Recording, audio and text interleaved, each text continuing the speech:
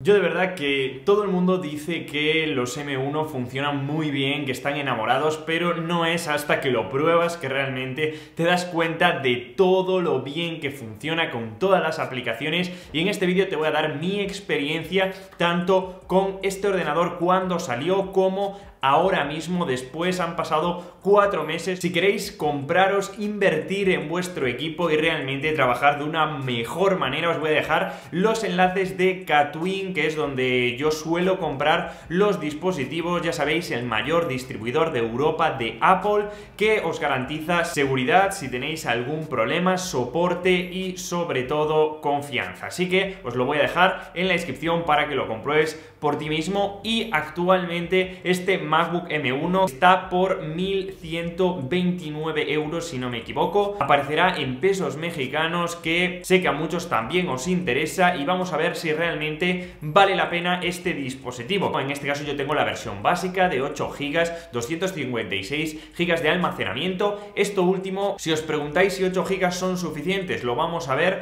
en el vídeo, pero yo creo que sí y os voy a dar las razones eh, por las que creo estos. 256 GB probablemente se os queden algo cortos dependiendo de a qué os dediquéis, pero si sois unos usuarios que realmente lo vais a utilizar para estudiar o para teletrabajar sin necesidad de descargar archivos, será totalmente suficiente. Además, por este precio me parece que es el mejor ordenador portátil que te puedes comprar. Si no lo sabéis, yo vengo de un MacBook Pro del 2016, de mediados de 2016, con un Intel i5, bueno, un dispositivo que es muy antiguo y que he notado muchísimo la diferencia. Para empezar, por este teclado de tijera que supera con creces al teclado de mariposa y además da muchísimos menos problemas a largo plazo. También, lógicamente, la touch bar que este no tiene y se agradece porque me encantan los botones físicos, así como el Touch ID que también lo tiene y nos permitirá desbloquear de una manera súper rápida y pagar en algunas tiendas o incluso descargar aplicaciones de una manera un poquito más sencilla. De la misma manera, también cuenta con una pantalla mejorada con una calidad increíble. Estaréis viendo un vídeo en YouTube en HDR, en 4K y a pesar de que no es una pantalla OLED, dispone de un panel que nos va a brindar muchísima calidad, muchísimo contraste y apenas destellos, ¿vale? Es cierto que lógicamente no tiene el brillo que tiene el MacBook Pro, que son 100 nits,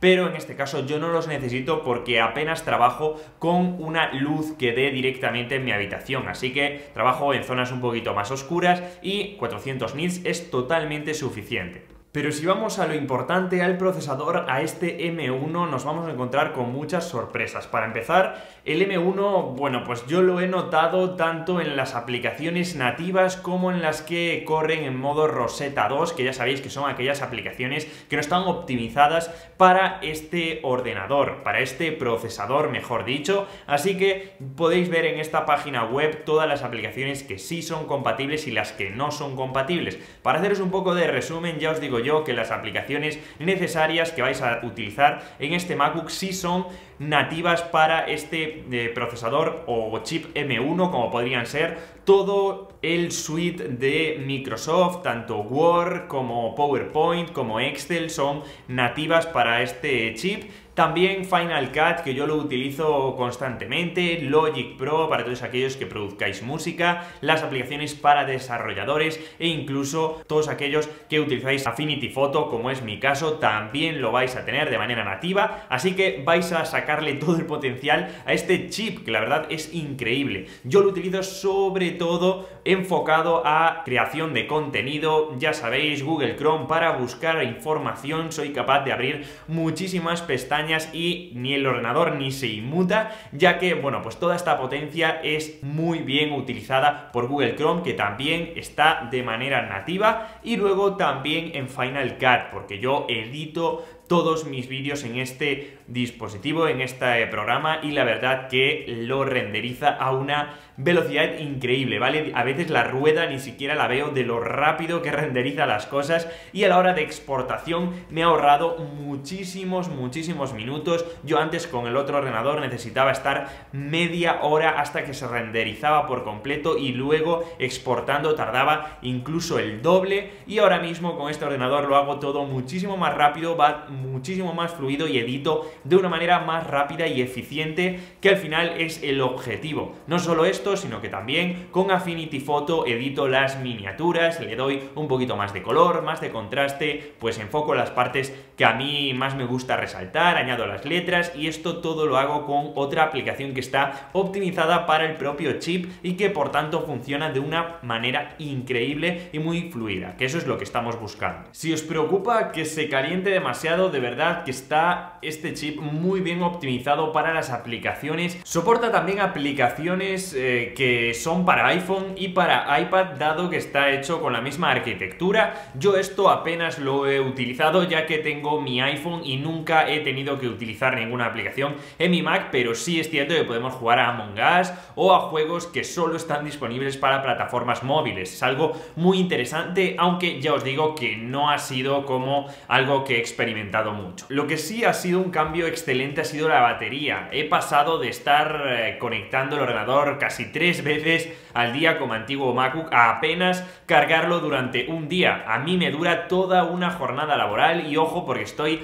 desde las 9 de la mañana hasta las 6 de la tarde utilizando el ordenador, ¿vale? Suelo cargarlo una vez al día, pero para mantenerlo entre el 20 y el 80%. Es increíble lo bien que funciona y lo bien optimizada que está la batería gracias a este chip M1 que está desarrollado por Apple y por tanto, dependiendo de vuestro uso, lógicamente también variará, pero ya os digo que yo, en mi opinión personal, es un dispositivo perfecto para todas aquellas personas que lo tengáis que utilizar fuera de casa porque podréis salir directamente sin cargador porque dura muchísimas horas. Y os preguntaréis, ¿sigue siendo una buena compra o me espero directamente a final de año que va a haber una renovación de los ordenadores portátiles de Apple? Pues yo os diría que lo compréis ya directamente, dependiendo lógicamente de vuestro dispositivo, de vuestro portátil actual, pero es una compra excelente. Ya os digo que el M1X no creo que salga este año, saldrá ya para el año que viene, incluso de momento no hay muchos rumores.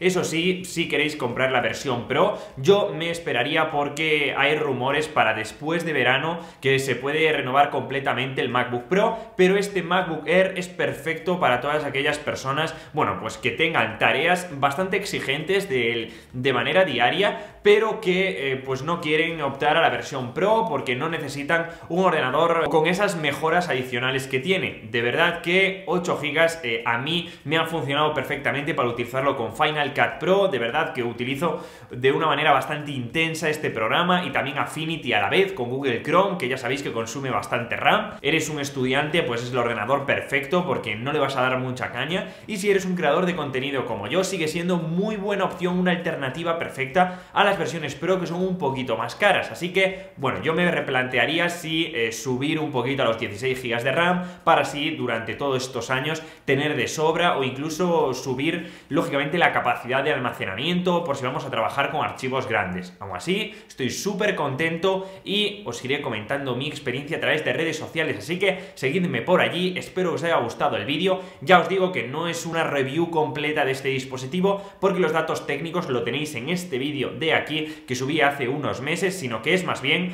una opinión directamente que tengo después de unos meses de haberlo utilizado por primera vez. Así que espero que os haya gustado, nos vemos como siempre en el siguiente vídeo. Muchísimas gracias chicos por estar ahí siempre. ¡Chao!